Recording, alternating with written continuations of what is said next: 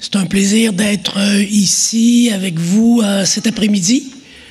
Je dois dire que de parler quelques minutes euh, après le secrétaire général de l'OCDE et notre ministre des Finances, c'est toute une, toute une demande.